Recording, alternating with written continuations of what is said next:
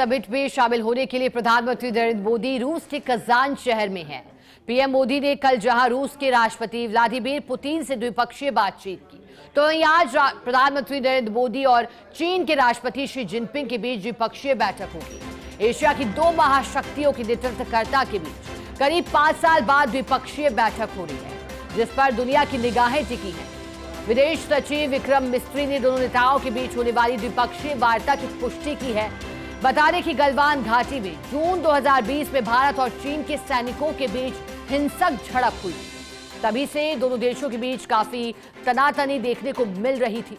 हालाँकि कल ही एलएसी पर पेट्रोलिंग को लेकर आम सहमति बन गई। दोनों देशों के बीच चल रही सैन्य गतिरोध को समाप्त करने में सफलता मानी जा रही है। बता दें कि इस साल ब्रिक्स की अध्यक्षता रूसी राष्ट्रपति व्लादिमीर पुतिन कर रहे हैं। पीएम मोदी का ब्रिक्स समिट में आज भाषण भी होगा।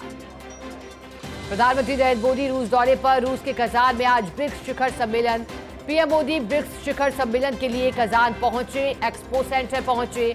सोलहवें ब्रिक्स शिखर सम्मेलन के पहले सत्र में भाग ले रहे हैं प्रधानमंत्री मोदी। थोड़ी देर में होगी उनकी चीनी राष्ट्रपति शी जिनपिंग और पीएम मोदी की मुलाकात। कजान में पीएम मोदी ने रूस के राष्ट्रपति व्लादिमीर पुतिन से भी मुलाकात की। दोनों नेता भारत रूस के बीच द्विपक्षीय वार्ता में शामिल हुए।